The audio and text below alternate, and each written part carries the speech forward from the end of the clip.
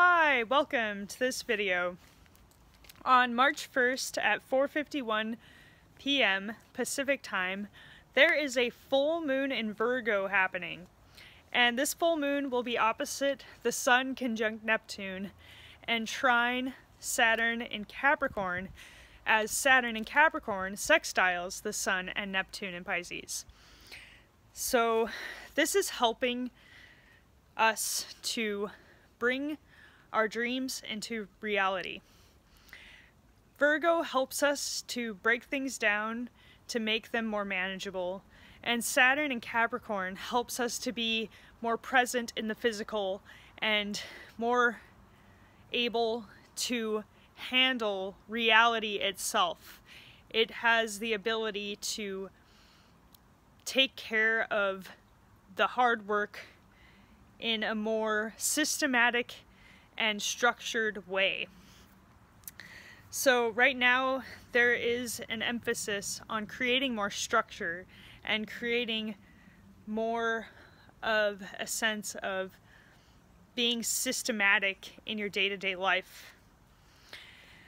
And then the Sun conjunct Neptune helps us to tap into the collective, the unconscious energy of everyone so that we can actually bring something forward that is very necessary for the collective to heal.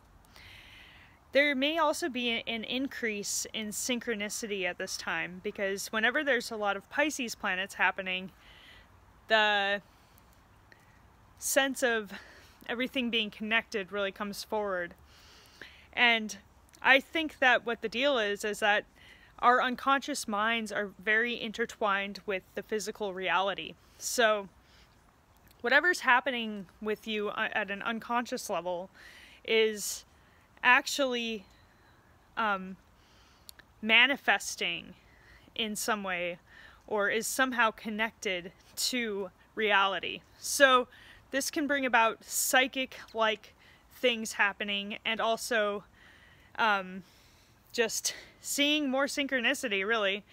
So it's always really interesting, though, to think about. And one time I did have a realization that somehow our unconscious minds and the universe are somehow like really one thing. Um, so, anyways, something to kind of think about anyway.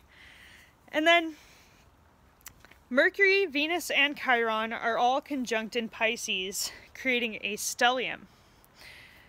So this is a time for having deep conversations that can bring more harmony to your relationships because you're more able to be vulnerable about the deep wounds that have occurred in your life. And so this is a good time for getting things off your chest and having healing conversations. But this stellium is also square to Mars and Sagittarius. So it can create some amount of tension at the same time, possibly defensiveness or maybe even a harshness in the way you are communicating. And so it, it can be somewhat of a an intense situation that could get brought forward. But Mars is also trine Uranus, so anything that is communicated um, you know, any truths that need to be brought forward is ultimately going to bring a renewed sense of vigor into your life. So anything that is not in alignment with this truth may have to fall away. There may be a sense of a destructive kind of feeling uh, in the beginning of this transit, but ultimately it's going to help bring new life to a situation. And then Jupiter is trine this stellium, uh, Jupiter being in Scorpio. So anything that is really brought forward, these things that are needed to be faced, beliefs even that might need to be transformed, is going to help bring growth to you. So sometimes when it comes to wounds and things that have really been very deeply rooted, possibly from past lives or really early life.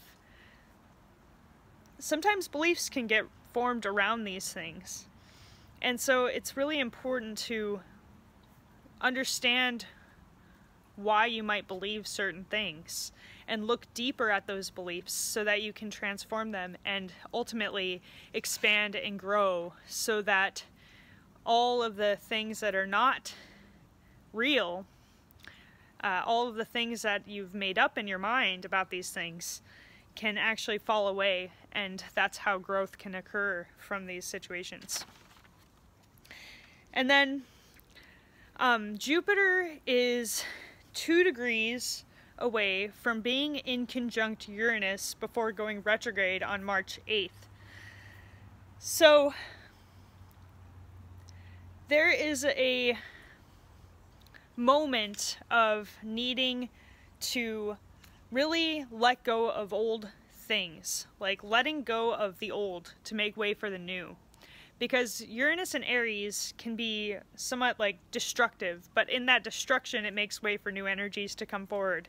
And Jupiter in Scorpio is a death and a rebirth of sorts. So there is just this de desire and need to let go of old things, old beliefs, old situations. Um, maybe things from the past, even, that just need to be released so that you can grow and become the person you're meant to become.